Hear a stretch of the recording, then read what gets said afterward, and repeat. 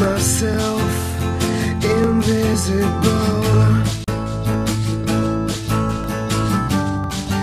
But anywhere I hide, God is behind a screen, staring at me.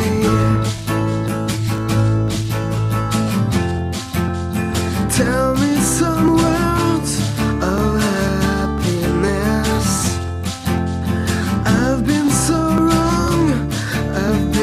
so dumb.